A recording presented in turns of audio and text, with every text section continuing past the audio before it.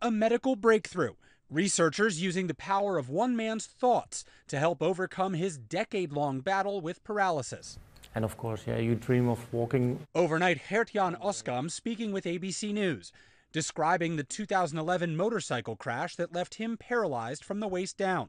I tried everything at home, trying to stand up and making steps, but it wasn't enough. Last year, researchers in Switzerland surgically inserted electronic implants to the areas of Oskam's brain and spinal cord that control movement. With the help of artificial intelligence, AI, they built what they call a digital bridge between his brain and spine, bypassing his injuries, essentially putting his thoughts into action. So I think about moving my leg, and then uh, the stimulation uh, gives me a pulse to make the step. While this type of AI has been used in medicine for decades, now researchers are saying this is the first successful procedure of its kind. AI being used as a thought decoder, processing what the neurons in the brain region are trying to do and sending that signal to the spine.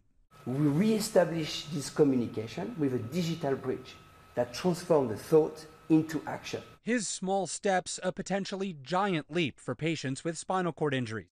Even when Oskam's implants are turned off, he says he can still walk with the help of crutches. Our mission to bring it to other people.